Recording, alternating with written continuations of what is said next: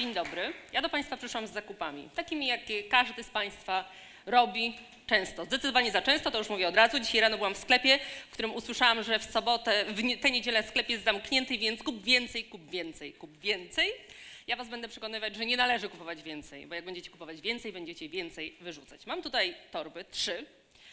I jedna z tych trzech toreb po moich zakupach, po Pani zakupach, po Pani zakupach, Pana zakupach na pewno trafi do śmietnika. Dlatego, że nie jesteśmy w stanie przerobić tego wszystkiego, co przynosimy do domu. Wyobraźmy sobie, że teraz jesteśmy wszyscy w dużym sklepie, hipermarkecie, bo tam są takie ogromne wózki i w tych wózku mamy te swoje zakupy, które zrobiliśmy. 30% zawartości tego wózka, z tego kosza, od razu wyrzućmy lepiej do kosza, który jest y, obok, gdzieś pod ręką w tym sklepie, dlatego że szkoda naszego czasu, naszej energii, paliwa w samochodzie. My tego nie wykorzystamy. Nie ma takiej możliwości dlatego że kupujemy za dużo, o tym jedzeniu zapominamy potem w naszych domach, to jedzenie zostaje w naszej lodówce, gdzieś w czeleściach tej lodówki odnajdujemy je po jakimś czasie i nie wiemy, co z nim zrobić. To jest też problem, e, który pojawia się w badaniach banków żywności na odpowiedź, dlaczego marnujemy jedzenie. No właśnie nie mamy pomysłu na jego wykorzystanie i kupujemy za dużo. Kupujemy za dużo dlatego, że nie chodzimy na zakupy z listą zakupów. Banał, ale gdyby każdy z Was poszedł do najbliższej zakupy z listą zakupów, zrobił ją sobie tak solidnie. Lista zakupów, to co chce kupić, co chce zjeść, do niej dopasować. Te wskazówki, wszystkie aplikacje w tej chwili ułatwiają to zadanie, ale można zrobić też tak standardowo na kartce. To zaoszczędziłby co najmniej 50% kwoty wydanej na zakupy, dlatego że tylu rzeczy by nie kupił. Kto z Państwa ostatnio wyrzucił coś do świetnika? Tak w przeciągu minionego tygodnia. Coś. Coś. Co pan wyrzucił? Coś wyrzuciłem. Coś. A co to było coś? Zużyte opakowanie, bo zjedzone. Pytam o jedzenie. O jedzenie. Może nie byłam precyzyjna. O jedzenie. Kto z Państwa coś z jedzeniowego? Nie, nie. Prezentacji, rezygnujemy z prezentacji, bo tutaj nie, nie ustaliliśmy tego do końca. To kto z Państwa coś z jedzeniowego, jedzeniowego wyrzucił do śmietnika? Przeterminowany. Będziemy rozmawiać o, te, o terminie ważności. To jest mój kolejny punkt, o którym chcę tutaj opowiedzieć, bo do niego mam bardzo sceptyczny stosunek, ale jest tak, że wyrzucamy niestety coraz więcej. Najnowsze badania Banków Żywności, bo to jest instytucja, która najdokładniej bada to i robi to co roku, co my wyrzucamy do śmietnika i ile tego wyrzucamy oraz też z jakich powodów wyrzucamy i także czy wyrzucamy więcej czy mniej. No i okazuje się, że w 2017 roku ponad 43% Polaków przyznało się do tego, że wyrzuciło coś do śmietnika i to jest o 10% więcej niż w latach ubiegłych, czyli to niestety wzrasta. Wzrasta między innymi dlatego, że mamy bardzo tanie jedzenie. Ja dzisiaj w tym wspomnianym sklepie kupiłam na przykład bułki, za taką bułkę zapłaciłam 29 groszy. Ta bułka jutro nie będzie się nadawała absolutnie do zjedzenia, bo ona już będzie twarda, ona już w tej chwili jest po prostu taka, no taka, że nie napawa optymizmem. Natomiast, żeby to była dobra bułka, ona powinna kosztować według piekarzy na zakwasie, z dobrej mąki, dobrze wypieczona, bez ulepszaczy, powinna kosztować złoty 50. Gdyby kosztowała złoty 50, my byśmy ją bardziej doceniali. Chleb, bochenek chleba dobry, powinien kosztować 7 zł. Kosztuje nawet i 2 zł, złoty 50. Można kupić taki chleb złoty 70. Dzisiaj widziałam z ziarnami chleb, więc to jest ten problem, który sprawia, że my wyrzucamy to jedzenie, bo nas po prostu na to w tej chwili stać. I my się często odwołujemy do krajów e, afrykańskich, mówiąc o tym, że tam biedne dzieci głodują, my to jedzenie marnujemy. W Polsce, według danych GUS-u, milion osiemset tysięcy ludzi nie ma możliwości zjedzenia codziennie ciepłego posiłku. Warto o tym pamiętać, wyrzucając już tak tutaj do Państwa sumienia się odwołuję, wyrzucając każdego dnia coś do e, śmietnika.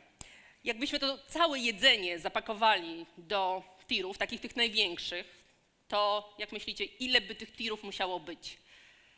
Nasze jedzenie mm, wyrzucane w Polsce. Dla ułatwienia powiem, że wyrzucamy rocznie w Polsce około 9 milionów ton. My wszyscy, my ludzie, e, zwykli konsumenci, sklepy, e, na etapie produkcji sporo się wyrzuca, bo jedzenie jest e, obostrzone różnymi, to które ma trafić do sklepów różnymi normami. Ile tych tirów mogłoby być? Ile? 5 kilometrów? Gdybyśmy te tiry ustawili w takiej kolejce, to od Warszawy do Dubaju ta kolejka by y, trwała. Tyle by ich było z naszym jedzeniem, które trafia tam z naszych e, śmietników. Trafia to między innymi dlatego, jak tu jedna pani powiedziała, wyrzuciła, bo data ważności minęła. No i z datą ważności rzeczywiście jest taki problem, że ona się bardzo skraca. Skraca się dlatego, że producenci chcą, żebyśmy kupowali więcej, więcej, więcej. Więc ja kupiłam sobie kaszę jaglaną w opakowaniu i tutaj mam datę ważności określoną na do jeszcze mogę do końca przyszłego, do końca tego y, roku zjeść tę kaszę. Pomijam fakt, że ona jest dwa razy zapakowana, bo najpierw jest takie opakowanie zapakowana, potem jest jeszcze w woreczek zapakowana i za to producent nie zapłaci. To państwo zapłacą 15% wartości każdego produktu zapakowanego, to jest opakowanie. Te opakowania są coraz większe, bo są cichymi sprzedawcami, czyli musi być tu dużo treści, żebyśmy e, kupowali sięgając spółek to coś, co jest bardzo widoczne. Także 15% od razu wyrzucacie do śmietnika. Zanim wyrzucicie jedzenie do śmietnika, to jeszcze wyrzucicie 15% za opakowanie. I kwestia plastiku. Badania najnowsze z Wiednia pokazują, a przebadano mieszkańców siedmiu krajów Unii Europejskiej, że plastik znajduje się w naszym kale. Wszyscy przebadani w tym, yy, w tym projekcie mieli czą- cząsteczki mikroplastiku. Jeszcze naukowcy yy, próbują opiniować, jak ten plastik wpływa na nasze samopoczucie. No, patrząc na to, że gotujemy w takim plastiku, trudno stwierdzić, że na pewno nam to jakoś służy, że jest nam, jesteśmy zdrowsi, lepsi i jest fajniej. Natomiast, i tu ta data ważności. Teraz ta data ważności sprawia, że patrzymy sobie na to pudełko pod koniec tego roku i no nie, muszę wyrzucić, nie patrzę nawet co tam jest w środku, tylko wyrzucam, bo przecież tutaj jest data ważności, a ona jest świętością, to jest nasz drogowskaz.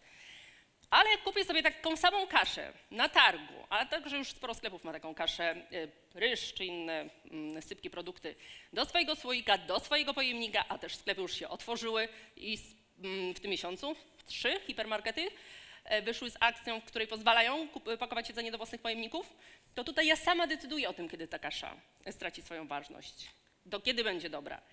Badania Belgów, e, którzy sprawdzali na wypadek kataklizmu, jak długo może być przechowywane jedzenie poza terminem ważności, udowodniły, że wszystkie takie sypkie produkty, kasza, ryż, e, strączki, od 10 lat minimum, jeśli chodzi o strączki, po 10 latach traciły nie swoją jakość, tylko trochę koloru, natomiast kasza, ryż, nic się z nimi po 30 latach nie działo. A producent nam ile sugeruje, dzisiaj kupiłam? Mam nic, 9, tak? 9 miesięcy mam niecałe jeszcze na wykorzystanie tego produktu.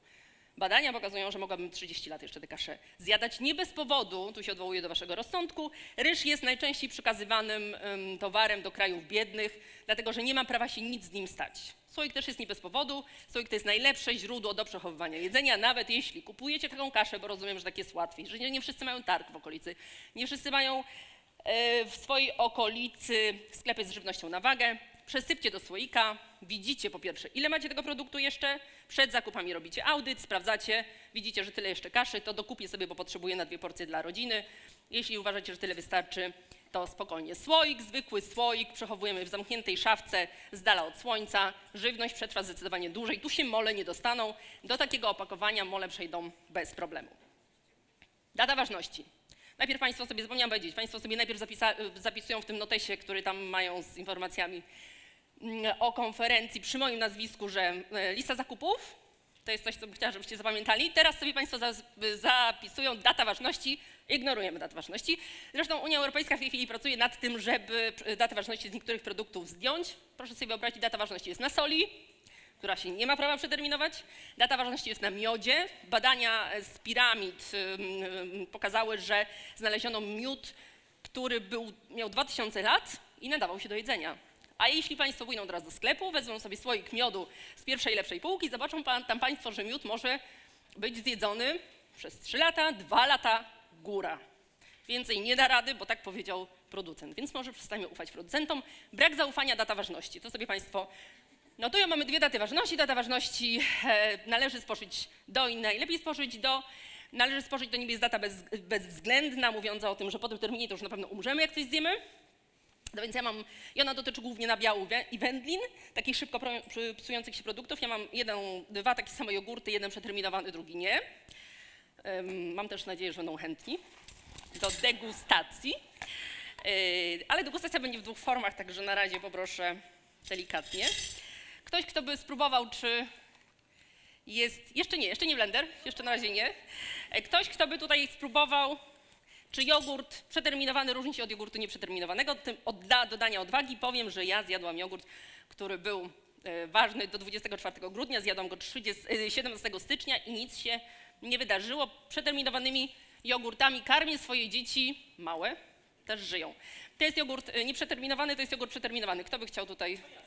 Pan. A jak chciał kogoś z publiczności? Nie, nie, tutaj trzeba zaangażować publiczność. Kto z Państwa? Pan. To jest przeterminowany? Ja tu zostawię swój numer telefonu, adres mailowy, jak w razie czego. Mam dobre ubezpieczenie, także. Dobrze, i teraz jogurt nieprzeterminowany. To jeszcze nie koniec degustacji, także proszę tutaj się zgłaszać, zastanawiać, kto by chciał być królikiem doświadczalnym. Czy jest jakaś różnica? Oczywiście tak, dziękuję panu bardzo za tę pozytywną odpowiedź, ale generalnie jest tak, że produkty, proszę, panie, to dobrze, za chwileczkę tutaj jeszcze będę miała różne rzeczy. Produkty dobrze przechowywane y, w odpowiednich warunkach, tak jak wskazuje producent, nie popsują się nam następnego dnia. Nie popsują się nam nawet dwa dni później. Tak jak mówiłam o tym swoim jogurcie, nie popsują się nam trzy dni później. My przestaliśmy ufać swoim zmysłom. Data ważności ma 40 lat. Wcześniej jej nie było, powstała w 1979 roku. Wcześniej jej nie było i jakoś wszyscy żyli, y, próbowali, sprawdzali. My teraz tego nie robimy, nie mamy żadnego kontaktu intymnego z jedzeniem, a zachęcam do tego, żeby mieć, żeby czuć, smakować, dotykać, nie bać się jedzenia i dopiero wtedy wydawać wyrok na, do kosza, czy jednak może na stół. Czyli ta data ważności Państwo dopisują, ignorujemy. A kolejnym punktem, który Państwo dopiszą do listy, to jest to, że nie wybieramy idealnych warzyw i owoców i w ogóle produktów tylko idealnych, bo też jesteśmy tak potwornie rozkapryszeni, że pokochaliśmy wszystko, co jest takie piękne. Modelki w gazetach są piękne, potem kobiety mają frustrację, tak? Ubrania są piękne, wszystko jest cudowne i wspaniałe i warzywa, owoce, nasze jedzenie też musi być wspaniałe. Zresztą najnowszy trend z 2019 roku dotyczący jedzenia mówi o tym, że jedzenie musi być instagramowe, czyli to, co gotujemy, to, co dostajemy, to, co jemy w restauracjach, musi się nadawać do tego, żeby zrobić fotę na Instagrama, wrzucić i podpisać, że tam jest food. Super, food, najlepiej. Mamy problem z tym, że właśnie wybieramy te idealne rzeczy, a te nieidealne trafiają do śmietnika. Unia Europejska to też bardzo niestety wspiera, bo są normy określone dotyczące wyglądu co najmniej 10 warzyw i owoców. Jedna pani napisała kiedyś do mnie, która hoduje szparagi, że ona ponad y, połowę swojej hodowli musi co roku wyrzucać, bo już nie jest w stanie obdzielić wszystkich bliskich, bo to jest Wielkopolska, bardzo duże, duże ma to pole, a niestety hipermarkety mogą od niej przyjąć wszystkie takie, dokładnie takie same szparagi. One muszą mieć tam chyba 17 czy 18 centymetrów. Natura nie jest idealna i my też przestańmy wierzyć w to, że jak ktoś nam oferuje takie wypolerowane jabłka, to one są lepsze od tych takich brzydkich, brudnych. Im brudniejsze, moi drodzy, tym lepsze. Samotne banany to jest coś, co jest plagą w Polsce, też kochamy w kiściach, w wielkich ilościach. Wszystko musi, wszystkiego musi być dużo. Pojedyncze banany wybierajmy wybierajmy też takie banany, e, które gorzej wyglądają. Robiłam w zeszłym tygodniu warsztaty dla międzynarodowej firmy, gdzie byli dyplomaci, między innymi przyszedł do mnie właśnie jeden pan, dyplomata z Kanady pyta mnie, miałam tam banany w różnych, różnych odcieniach, czyli takie bardzo dojrzałe, mniej dojrzałe i najmniej dojrzałe i on mnie pyta, czym one się różnią, to, jaki to jest rodzaj tych bananów i jaka to jest odmiana tych bananów, że one mają takie różne kolory. Ja mu mówię, że to są te same banany. A on do mnie mówi, no nie, nie, nie, ale one się różnią. Jaka to jest odmiana? Proszę mi powiedzieć, z jakiego kraju są te, z jakiego kraju są te. Myślałam, że się, się jakoś nie rozumiemy. Okazało się, że pan nigdy nie widział ciemnych bananów, nigdy nie widział bananów z plamkami, nigdy nie widział takich gorszych bananów, bo takich bananów po prostu w sklepach nie ma, a w waszych, waszych domach one są. Poproszę blender. I one naprawdę super, super smakują, o czym zaraz się przekonają. Muszę się spieszyć, bo jeszcze chciałabym... Im ciemniejszy banan, tym jest zdrowszy.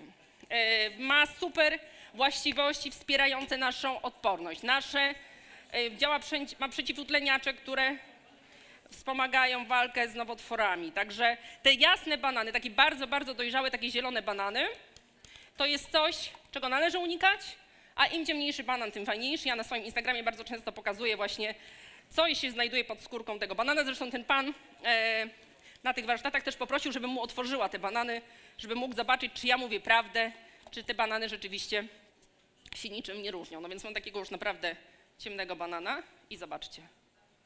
Czy on jest jakoś ten, spleśniały? Nie. E, W ogóle skórki bananów są jadalne, tylko że nie zalecam y, jadania, bo y, banany nie rosną w naszych warunkach klimatycznych, one do nas muszą dotrzeć, żeby do nas dotarły, do docierają zielone, potem dopiero dojrzewają, są pryskane bardzo mocno, ale generalnie można je jeść, natomiast jeśli, znaczy w sensie jeść, że są bezpieczne, tylko że trzeba wiedzieć, co może być w tej skórce, ale można na przykład bananami i są na warsztatach różnych kulinarnych już w Polsce także proponuje się różne rzeczy z bananów, puder z bananów, ale za to na przykład takie ususzone banany są świetnym nawozem dla niektórych kwiatów. Ja mam czyste ręce i tutaj zrobię taki koktajl, proszę. Nasadzonych pomidorów, na przykład. Tak, skorupki od jajek świetnym są też nawozem. Też je można jeść, generalnie, jeśli chodzi tam o bezpieczeństwo żywności, o w ogóle produkty nadające się do spożycia, skorupki od jajek też, ale też nie polecam do jedzenia, no bo jednak em, e, badania, które są robione co roku przez Państwową Inspekcję Handlową pokazują, że ponad 70 jajek, e, które są sprzedawane w Polsce są nieprawidłowo oznakowane. Czyli jak coś jest zerówką, to może tą zerówką nie być. Nie wiem, czy ktoś mi tu podłączył już ten blender? O tak, jest podłączony, dobra. Doleję może jeszcze trochę wody żeby to rozrzedzić. Woda jest z kranu, właśnie, pijemy kranówkę. Jestem ambasadorem takiej akcji Wrocław nie marnuje i namawiam do tego, że pijemy kranówkę, drodzy Państwo, właśnie. Woda w plastiku ma e, także mikroelementy plastiku, czyli ten plastik przenika. Poza tym marnujemy strasznie dużo wody, produkując wodę w butelce, bo musimy wyprodukować butelkę, potem butelkę trzeba zut- zutylizować. Po- Poza tym plastik jest, nie trafia do recyklingu, tylko taka butelka rozkłada się pół wieku, a woda z kranu ma więcej, szczególnie ta wrocławska, bo ma mm, bardzo dużo dobrych minerałów, ma więcej wartości niż ponad y, 70% wód, e, które są na naszych spółkach sklepowych. 200 wód jest dostępnych, z czego tylko 30 ma właściwości lepsze niż kranówka. I trzeba czytać też etykiety, żeby wiedzieć, e, co jest w tej wodzie, więc kranówka naprawdę bez żadnego filtrowania polecam. A teraz sprawdzałam wcześniej blender i działał, więc mam nadzieję, że zadziała również. To będą te gorsze i lepsze banany. I zobaczą Państwo, jak bardzo szybko można. Akurat tutaj używam jogurtów czekoladowych. Normalnie można by było po prostu do tych bananów dolać tylko filiżankę kawy, to jest mój ulubiony drink, albo e, dolać wodę i odrobinę kakao i mamy super napój, który jest bardzo pożywny. Kto chce teraz? Teraz już nie będę pytać, jak, jak smakuje, bo jest pomieszany jogurt po, y, przeterminowany i nie. Ostrzegam, jest przeterminowany również. Bardzo dojrzałe banany. Pani tutaj, panie tam były chętne, tak? O, coraz więcej ludzi. Bardzo dobrze, ja tu jeszcze mam coś do, do zrobienia, także... I jak? Panie już? Czyli tak, od, zapisują sobie teraz Państwo idealne, nieidealne. Wybieramy głównie te nieidealne, ratujemy je. One mają często więcej wartości niż te cudowne, wypucowane, wypielęgnowane rzeczy. Jeszcze mam jeden słoiczek. O, pani tutaj. Bardzo się cieszę z zainteresowania. Mam nadzieję, że to potem przejdzie dalej w waszych domach i już nie będziecie marnowali 4 kg jedzenia miesięcznie, tylko zdecydowanie mniej. Ostatnia porcja. Pani się zgłasza, bardzo dobrze. Dobrze, poproszę drugi blender. Ten już oddaję, ponieważ mam moją kolejną siatkę na zakupy, a tutaj mam. Co to jest? Kto z Państwa y, używa marchewki? Już kończymy, już kończymy. A, jeszcze sekundę, to zrobię jedno pesto i ten. Y, Kto z, z Państwa używa marchewki z natką? Ostatnio Pan na targu mi powiedział, że, dwie Panie, że on nie, y, w ogóle nie zamawia marchewki z natką, bo potem ją musi wyrzucać, a za marchewkę, a za natkę musi też płacić. No więc ta marchewka z natką ma więcej e, witaminy A niż sam korzeń. Natka jest w ogóle super dla kobiet. Zamiast tych wszystkich kremów, które Wam polecają w reklamach, kupcie sobie natkę marchewki, zróbcie to, co ja za chwilę zrobię, bo wygładza świetnie zmarszczki. Szczególnie taka marchewka jak teraz. Zmarszczki, tak. E, Szczególnie taka marchewka. Pan na to nie interesuje, wygładzanie zmarszczek?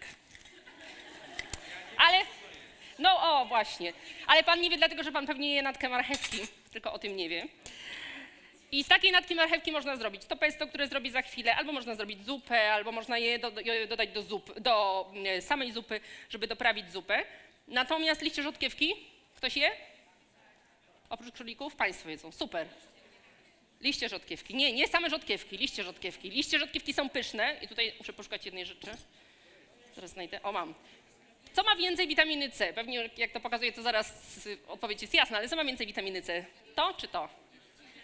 Dwa razy więcej witaminy C mają liście rzodkiewki, a są tańsze liście rzodkiewki, bo najczęściej sprzedawcy odrywają na targach i można sobie je wziąć za darmo. Porcja witaminy C podwójna jest tutaj darmowa. W tych liściach rzodkiewki nie zdążę już zrobić pesto z liści rzodkiewki, zrobię szybko pesto z natki marchewki do poczęstowania Państwa, a w międzyczasie powiem, że właśnie blendowanie, miksowanie to jest najlepszy sposób na to, żeby tę żywność zutylizować. Jak nie macie co zrobić, zmiksujcie, zróbcie koktajl. Na pewno będzie super smakowało. Robiąc to pesto, jeszcze tylko powiem, że dla przypomnienia, czyli Państwo teraz pamiętają o tym, że przy tym moim punkcie, moim nazwisku dopisuję jeszcze jedną rzecz, że wybieramy, że wykorzystujemy warzywa od trzonka do koszonka, czyli w całości. I liście, i obierki możemy wykorzystywać, one są bezpieczne. W tej chwili skończyłam pracę nad drugą książką, która będzie w październiku i tam jest rozmowa z jednym z profesorów, który mówi, że jak zjemy liście rzodkiew, jak zjemy obierki, nie umrzemy, nie trzeba ich w, niki, w niczym płukać, zwykła woda wystarczy.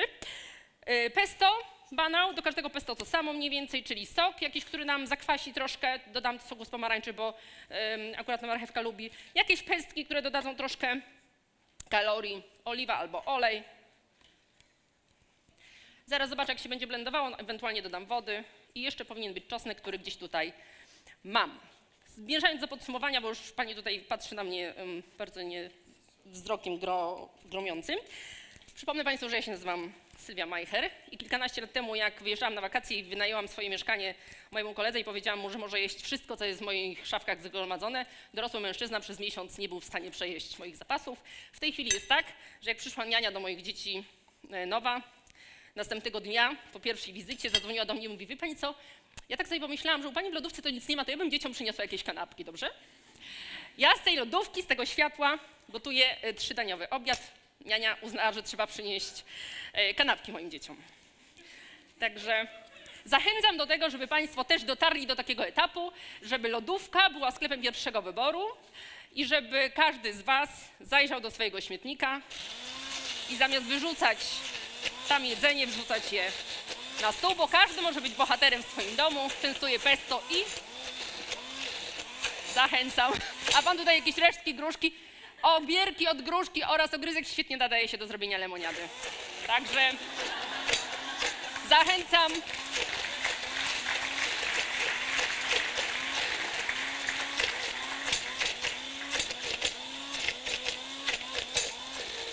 Jeszcze sekundę. Chce pesto spróbować?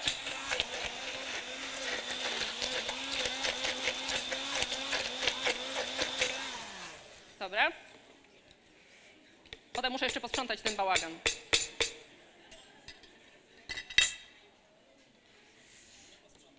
Dobrze, dobrze, dobrze. Pani tu wszystko posprząta, ja tylko przełożę pesto szybciutko.